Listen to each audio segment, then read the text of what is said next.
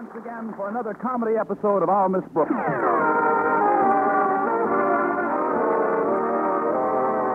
Well, with winter upon us, many women are faced with the problem of either buying a new coat or making last year's do.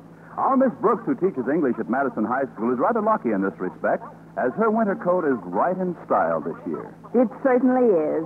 Of course, I must admit that there were times in the past ten years when I doubted that the coat would ever be in style again. But after all the wear it's taken, it's pretty much of a wreck. And last week I decided that somehow I had to get myself a new one. I discussed the problem at breakfast Wednesday morning with my landlady. Why don't you try Sherry's department store, Connie? They've got a lovely coat department. They've got lovely prices, too, Mrs. Davis. Well, there must be something you can afford that'll keep you warm. Oh, there is. It's just that I don't like to go to school wearing a surplus army blanket. I wish I could help you, dear, but with the holidays so close and all, Oh, I... please, Mrs. Davis, I wouldn't think of borrowing from you. Why, if I just had the money I owe you for back rent, I could buy two coats. I wish you wouldn't talk that way, Connie. It makes me feel guilty. I guess you'll just have to make your old winter coat do. Have you seen the old gray thing lately, Mrs. Davis? No, dear. Where do you keep it? I left it draped over a living room chair last night to air out. If it hasn't rejoined the wolf pack, it's still there. Oh, for heaven's sake. Was that your coat? Uh-huh. I'll bring it right in off the clothesline. Off the clothesline. Yes, I mistook it for an old rug this morning. Why, I must have beat that thing for 20 minutes. Well, good. It deserves it. Just let it hang there until after breakfast. So that's your coat. While I was whacking away, I said to myself, why am I whacking away? This thing isn't even good enough to step on anyway. Now I know I need a new coat.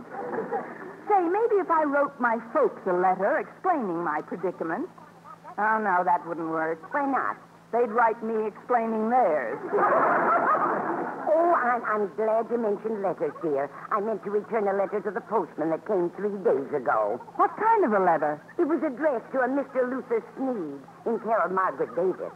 Now, I know that Margaret Davis lives here because I'm Margaret Davis. There's certainly no Luther Sneed. Oh, but there is, Mrs. Davis. I'm Luther Sneed. Oh, maybe I better get you a glass of water, dear. Now, oh, there's nothing wrong with me, Mrs. Davis. Where's the letter? right here on the sideboard. I've got to see what it says. Mm, oh, Mrs. Davis, I've won. I've won the contest. Good. I always knew you had it in you, Luther. what kind of a contest did you win? Last Saturday's football contest in the Morning Dispatch. Really? What do you get for winning? A gift certificate at Sherry's store for a $75 man suit. That's nice. Wear it in good health, dear. You don't understand, Mrs. Davis. The football contest was open only to men. That's why I had to enter under an assumed name. Oh, but Connie, I, I didn't think you were so interested in football. Well, I'm not, but Mr. Boynton's been needling me lately about my lack of knowledge of the sport. So to keep him quiet, I decided to prove I knew as much as anybody. Well, this certainly proves it all right. However did you manage to pick all those winners? With a good thick blindfold and your hat pin. Isn't it wonderful, Mrs. Davis? Now I can sell this certificate at a bargain rate to some man and get enough for a down payment on a new winter coat. Of course you can. You can sell it to somebody at school, a teacher, perhaps. Oh, I couldn't afford to sell it that cheap. no, Mrs. Davis. You know, the only one at school who might be able to buy it is Mr. Conklin. Yes, all I have to do is to convince him that he needs a new suit badly, and I'm sure I can make a deal. I hope so, dear. Oh, would you like some more coffee? No, thanks. I haven't got time. Walter Denton isn't picking me up this morning, so I'd better get going. What's the matter with Walter? Nothing's the matter with him. It's his car. He had a little trouble with a wheel yesterday. A wheel? Yes, it rolled down the sewer.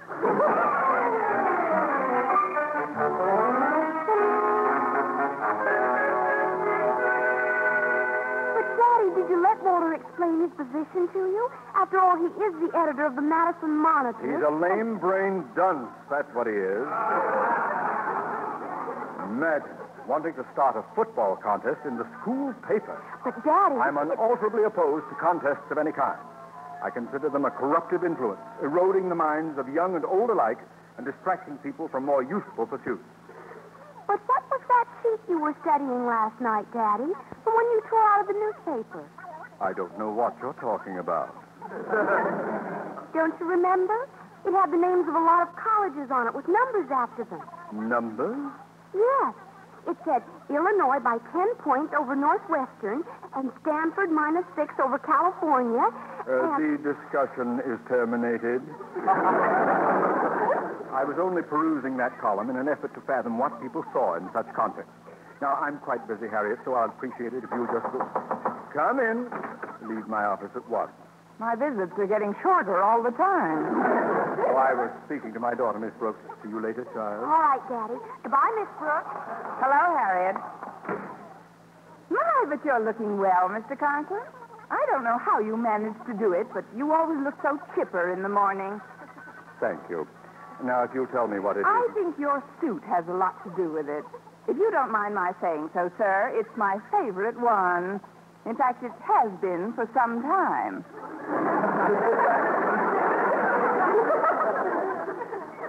I'm glad you like it. Now, if. Oh, I'm not alone in the opinion, Mr. Conklin.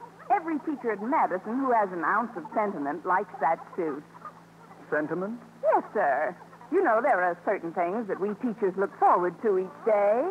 The old cracked brick walk out front, the old ivy clinging to the old walls, the old initials hacked into the old desk, and your suit. Well, I admit, Miss Brooks, that this suit isn't new, but it just so happens that my wife is crazy about it. She's told me any number of times how much she likes to see me in it. Oh, so do we all, Mr. Conklin. We love to see you in it. And we like to see ourselves in it, too.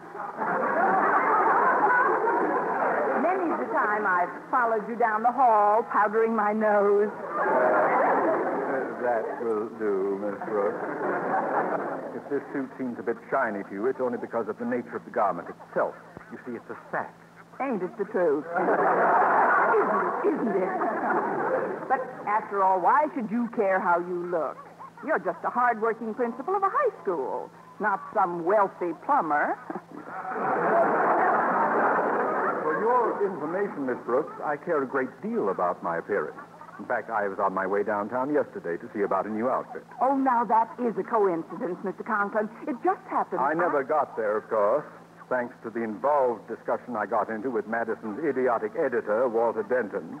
Imagine that oaf wanting to hold a football contest in the Monitor. Well, he knows where I stand on such skullduggery now. Skullduggery? I consider contests of all types nothing but a low form of gambling. And newspapers or anyone else who sponsors them are accessories to the delinquency of a community. Moreover, anyone under my jurisdiction, teacher or student, who is caught participating will have to answer to me. Now then, uh, why did you stop by my office, Miss Brooks? I just wanted to powder my nose. That is, I thought you might want to see me about something. Some extra work I could do for you, Uh, or Brooks, scrub the Miss floors. Brooks, uh, Stop percolating and speak. Oh, what's the certificate you're clutching in your hand? What certificate? Uh, let's see there.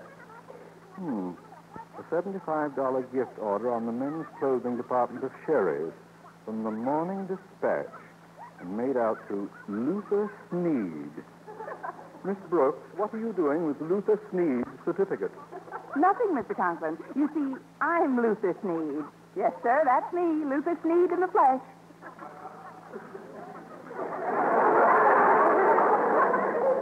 Miss Brooks, you're not a well woman. I don't know how or when, but maybe you've been working too hard? No, sir, it's, it's just a nom de plume. I see. And this gift order, is this some sort of a prize, Miss Brooks? A prize for participating in some obnoxious contest or other? Me enter a contest knowing how you feel about them? You did, didn't you? Aren't you jumping to conclusions, Mr. Conklin. Don't you conceive it as possible that I could receive this gift order for uh, the for sending in the best poem of the week? Poem? Well, it is possible. It is? I mean, of course it is. Now, That's what I did. Naturally, I was a little shy about my first writing effort, so I took another name. But why a man's name? Well, lots of women have written under men's names. There was George Eliot, George Sand, Edgar Allan Poe. Edgar Allan Poe? His real name was Edna. Now, if it's all right with you, sir, I'll... I'm still very suspicious of your connection with this certificate, Miss Brooks. But, sir, the only reason I came in here this morning was to sell it at a bargain price. If you received this award for anything other than the writing of a poem, say for having entered one of those degrading and nefarious, you want to sell it at a bargain? Yes, sir. Would you give me $50 for it? Are you suggesting that your principal become a party to some underhanded and evil practice, some insidious and distasteful affair, some character-destroying temptation? I'll give you 30. 30? But it's worth at least... You wouldn't want to arouse my suspicions again, would you? Now, now, here's the money. And let's keep this little transaction strictly to ourselves. Is that understood? Yes, sir. Good day, Miss Brooks. Just fair, Mr. Conklin. A deal like that is enough to make you go straight. Thirty dollars for an award that this... Oh, excuse me for interrupting, Miss Brooks, but hello. Oh, hello, Walter. Just going to Mr. Conklin's office, weren't you? I could tell by the way you were talking to yourself. Yes. Well, I've got to get to class, Walter. He's on a big anti-contest kick, isn't he? So I've heard. Oh, gee, every guy in school enters those dispatch contests. I hope nobody around here won this past week, though. Why? Oh, because I was down to Sherry's yesterday to get some sneakers, and there's a photographer there from the dispatch. A photographer? Yes, ma'am. He's there to take a picture of the winner when he shows up to cash his gift certificate. See, the picture will probably land on the front page. And, Miss Brooks, what's the matter? You look pale. Are you going to faint? That's the best idea I've heard all morning. Move over.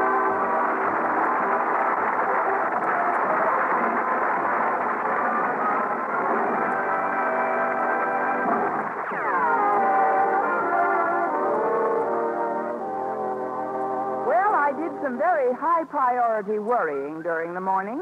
And when lunchtime came, I met Mr. Boynton in the school cafeteria and poured out my miserable story. He listened attentively, and after careful consideration, Mr. Boynton came through with one of his customary clear headed and sympathetic statements. I'd sure hate to be in your shoes. It would be a little crowded at that. But that's hardly an answer to my problem, Mr. Boynton. Oh, dear, I'm so upset I can't even eat. Oh, nothing should be that upsetting, Miss Brooks. Now, let's see if I've got this thing straight. You won this football contest under an assumed name, right? Right, Luther Sneed. And then you sold the gift certificate calling for a man's suit to Mr. Conklin after telling him you received it for sending in a poem, right? Right. You promised to keep the transaction a secret, and now, knowing Mr. Conklin is violently opposed to, to giveaway games, you learn that a photographer is waiting to take a picture when he goes down to cash in the prize, right? Right. You know something, Miss Brooks? What? No, I can't eat either.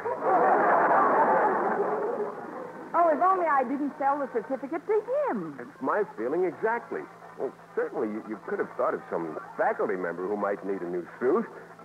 Didn't it occur to you that I might be open to a suggestion? After four years, no. That is, I didn't think you'd want to spend the money. Well, as I see it, there's only one way out for you, Miss Brooks. All right. You hold the steak knife and I'll fall on it. No, no, no, you've got to get the certificate back from Mr. Conklin. He's just starting his lunch over by the window. But he thinks he got a great bargain at $30. He'll never sell it back to me. There are other ways of getting things, Miss Brooks. Let's see. He's probably got the slip in his inside coat pocket. All you've got to do is get it out of there without his knowledge, and, and your worries are over. At least for five years till my parole comes up. Oh, you can return his money later. Meanwhile, you, you have your prize back. Yes, but if I go down to Sherry's and get my picture taken, you'll know I lied about the poem. And if I don't go down, I'm out of $30. Well, not necessarily. I'll take the certificate off your hands. You will, Mr. Boynton? Well, certainly. I'll be happy to give you $20 for it. Oh, but, but we haven't time for financial details. You've got to get your hands on Mr. Conklin's coat. Yes, but how? Well, right in front of him is a plate of food, cup of coffee, and so forth. If something accidentally spilled on him, one could volunteer to have his coat cleaned for him, couldn't one? One could do the best cleaning job one ever saw. Mr. Boynton, your period of indoctrination is over. You've made the varsity. now wait here and keep your fingers crossed. Good luck, Miss Brooks. Uh, good afternoon, Mr. Conklin. You enjoying your lunch? So far. Have you and Mr. Boynton finished yours? Oh, did you see us all the way across the room? I did. Your conspiratorial huddle was unmistakable. Conspiratorial? It looked like a meeting of the underground. That's a hot one, Mr. Conklin. May I sit down? You may sit down on one condition, Miss Brooks, What's that? That you do not spill anything on my coat and then offer to clean it in a feeble attempt to regain the certificate you sold me this morning because you can get more money for it elsewhere. Yeah. Well, bye.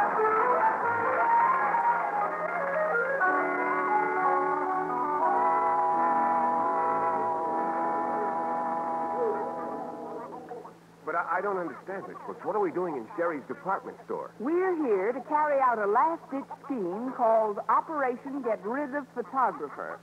Now, if Mr. Conklin comes down here and his picture appears in the... Wait a minute. That must be the man from the dispatch over by the clothing dummy. Which one? He's the one with the camera. now, look, Mr. Boynton, I'll go over first. All you have to do is give me a short time to get the old charm working, and then you stroll over. But, Miss Brooks, what do I do when I... Just react normally, Mr. Boynton, and leave the rest to me. See you in a few moments.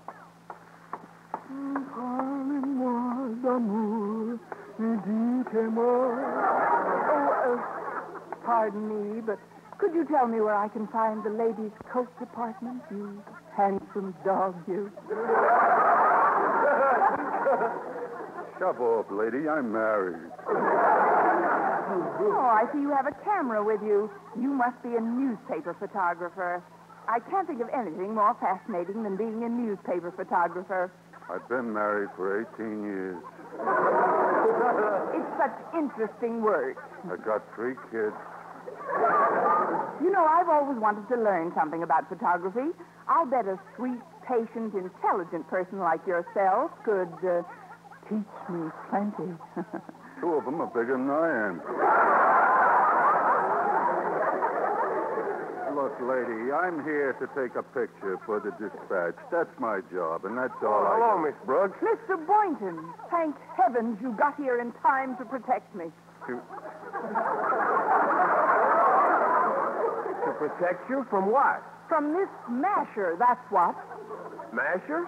Masher? This, this roughneck tried to get fresh with me. Fresh. Fresh? Let's not stand around like the Andrews sisters.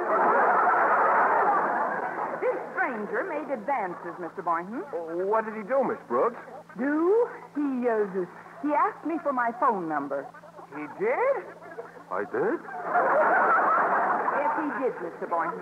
Now, don't just stand there doing nothing. Well, I, I'm sorry. The number is Ridgeview 8473. But I didn't want a phone number. I just... Are you going to stand idly by and let these insults go unavenged? Don't you think you ought to ask this man to go out in the back with you for a while, Mr. Boynton? Out and back? Yes. If you don't want to thrash him within an inch of his life, you could at least break his camera. But that's the way he makes his living. Oh, Well, if you don't want to defend my honor, I'll just have to defend it myself. Come on, fresh guy. Let's go out and back of the store. Not me. You got the reach on me. Well, look who's here, Daddy. Miss Brooks and Mr. Boynton. Oh, hello, Harriet. How are you, Mr. Conklin? Fine, thanks, Boynton. How do, Miss Brooks?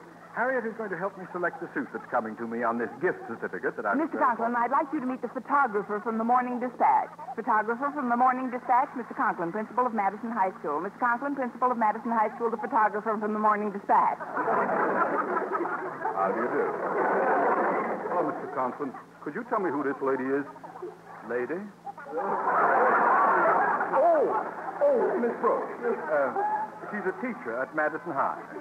No wonder I'm glad I never got past grammar school. Well, Mr. Conklin, I'm supposed to get the picture of the winner of last week's football contest. If you got a certificate. I do not participate in any moronic contests, young man. This certificate happens to be made out to Luther Sneed. Yes, and I'm Luther Sneed. You could have phoned me. But I'm not here to take Luther Sneed's picture. You're not? No, that's the name that got a duplicate prize. He, she, or it was the only one in the history of the contest who ever picked every single game wrong. Wrong. I knew that hat pin was crooked. I mean, there must be some mistake. When I wrote my Uh, poem. Let's stop this gibberish, if you please. Uh, tell me, Mr. Photographer, who was the actual winner of last week's football contest? A guy named Geronimo Crowninshield. Geronimo Crowninshield? But that's the name on the letter that came to our house. I've... I've been carrying it around since Monday to return to the postman. Oh, where is it, child? Let's have it. handed over. Hand it over. Quick. Give it to me. Here it is, Daddy. Will you give it to the postman? Don't bet on it. I'll just hang on to this for a while, Harriet. You never know when Geronimo will return to our house. Return? Certainly. He was that friend of mine from out west. Friend? Don't you remember? With all those scalps dangling from his belt? He was the one who spent the week in our spare room, Harriet. But, Daddy, I've been sleeping in our spare room for months now. I meant the spare room over the garage. Look, folks, I'd like to get this straightened out. One minute, please. Daddy, there's no spare room over the garage. There's a place for tools. Well, Geronimo here isn't particular where he sleeps. Are you, Geronimo? I said, are you, Geronimo? Ouch! What? Why did you kick my ankle, Miss Brooks? Well, what's a little kick to a big Indian chief like you? Harriet, you should have told Geronimo you had his letter. You mean Mr. Boynton is Geronimo Crowninshield? No, Geronimo Crowninshield is Mr. Boynton. He just teaches under that name. Now, just a moment.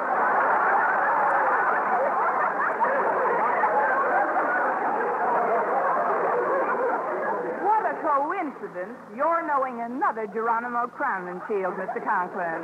Now, may I remind you that the photographer is waiting to take a picture of the winner of the football contest.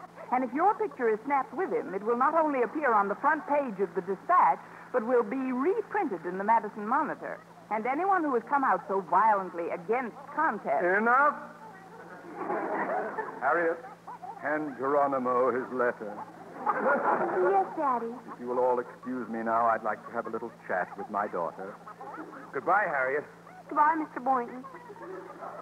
Come along, you dear, dear little girl. Goodbye, Miss Brooks. See you later, Harriet, if there's anything left of you.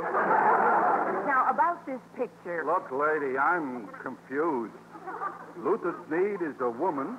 There are a minimum of two Geronimo Crowninshields, and shields, and I almost got clobbered for just getting out of bed today.